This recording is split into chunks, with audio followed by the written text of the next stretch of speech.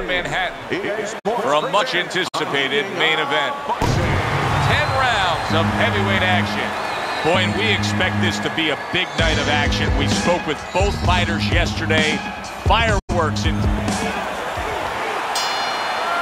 Little get to know you here in the opening round scheduled for 10.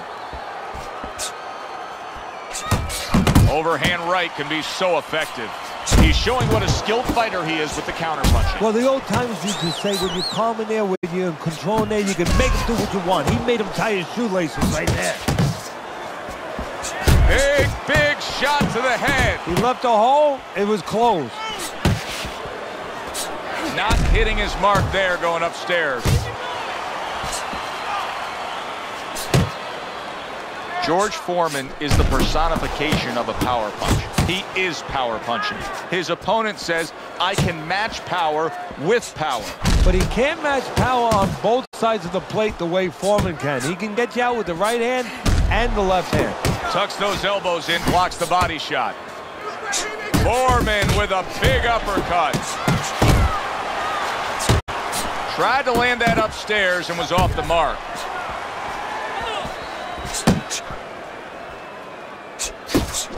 To be accurate to send the combination to the body, and he does that.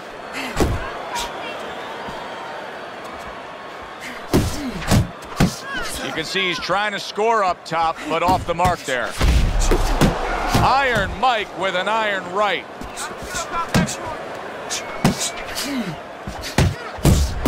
Tyson's showing you what it takes to be the best in this business. Good, crisp combos.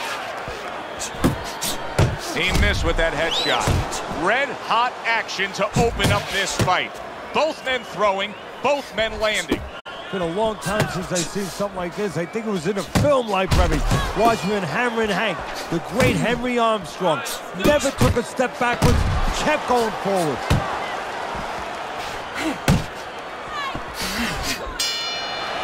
Coming to the end of this round. Joe and Teddy with you ringside. Teddy, a round like that where it's a lot of busy activity and both guys being busy. When you were a trainer, are those the kind of rounds that you prefer or do you like the pace to be a little slower? Does it depend on each guy? No, if I have a fight, I'd rather have a guy fighting a guy that you never see him. Leave me the heck alone. And where I'm in control all the time. But the fans love to see a fight like that. George Foreman's opponent knows exactly what the game plan can be now. That counter punch landed with some success.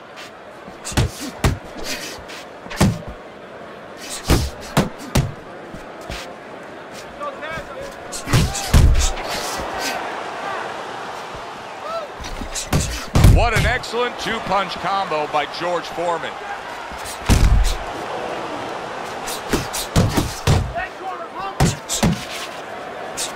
Unable to score with the hook.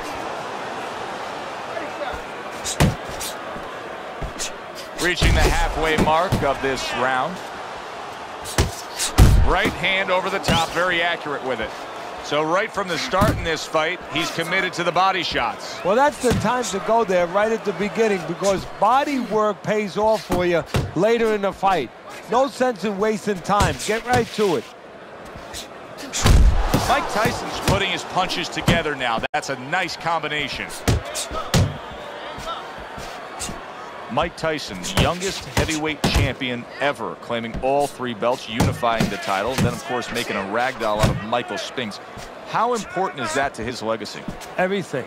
I mean, he came up with the man, his mentor, Cus D'Amato, who had the prior youngest heavyweight champ of all time. That was Floyd Patterson. He wanted to break that record. He planned on, he lived to break that record.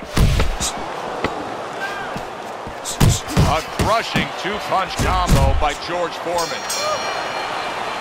Foreman's last round to me, Teddy, completely ineffective. His accuracy way off the mark, throwing punches, but lost the round. Joe, talking about being off the mark, if you're traveling outside and you're lost, you need a map to find your way. He needs a map right now to find his way. He needs some direction.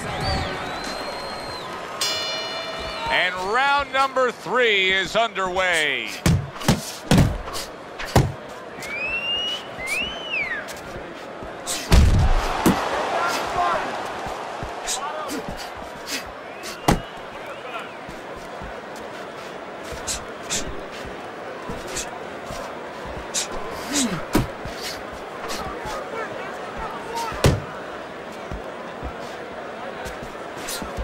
Very nice defensive guard there.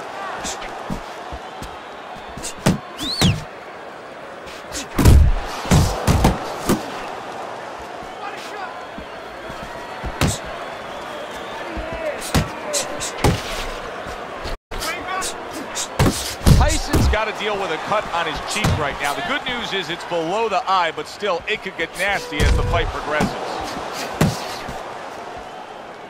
And coming upon the halfway mark of this three-minute round. Good combination to the head.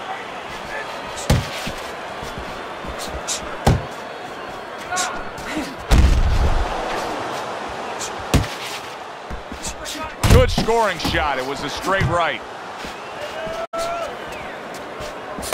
Tyson's showing you a little defensive skill there, able to move away from that punch. This is really solid defense by Mike Tyson. You see how he has his arms up in that peekaboo position, but by doing so, he's not allowing any of his opponent's punches to get in. Tyson's landing a combination here. That's what he does when he's at his very best. That is a classic Tyson uppercut.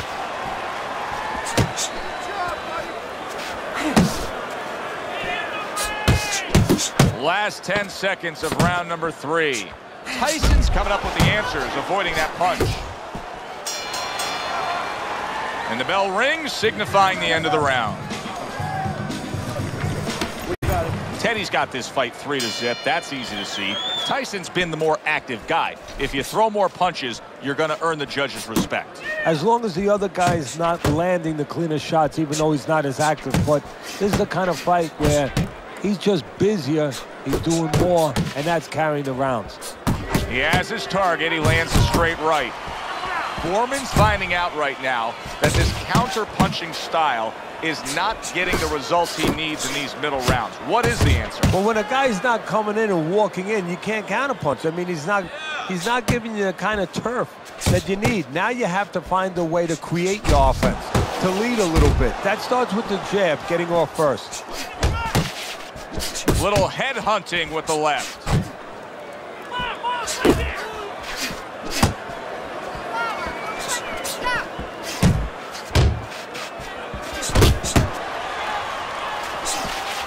90 seconds to go in round number four.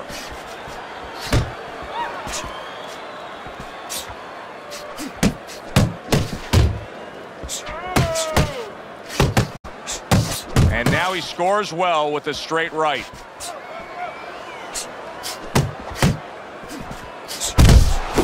Look at that combination by George Foreman.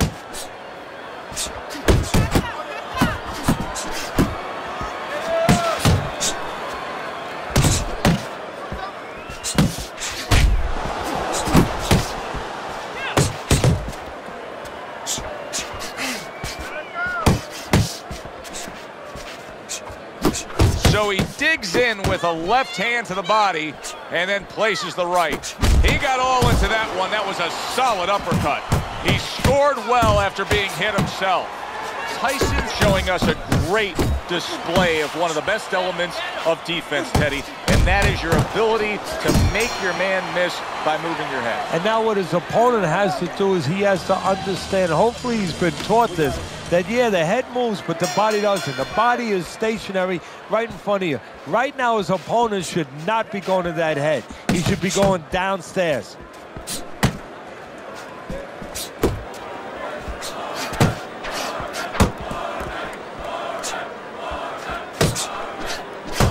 A shooting right hand by Mike Tyson. Mike Tyson's combination punching is working well here. Piercing jab.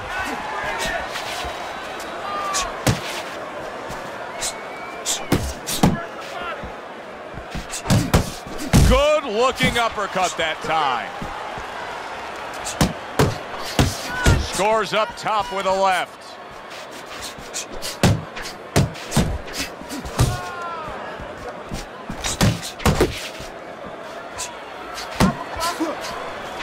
Solid jab by George Foreman. Still plenty of time to work here in round number five. Minute and a half to go. Oh.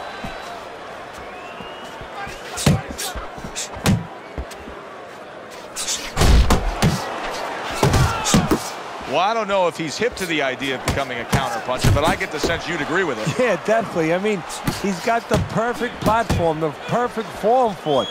The guy's walking in right now, not moving his head much. He can time him, he can counter him.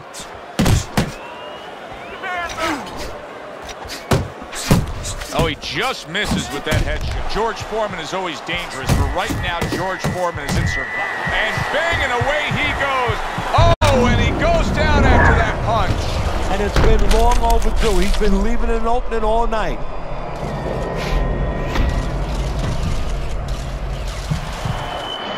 One, two, three, four, five, six, seven, eight, nine, ten. And it's over. Look at this.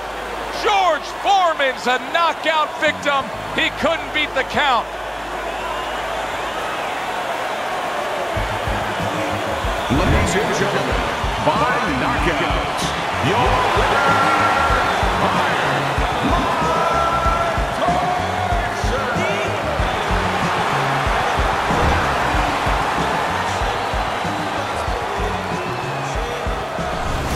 So he's unable to recover from that one clean shot. This bout ends by way of knockout.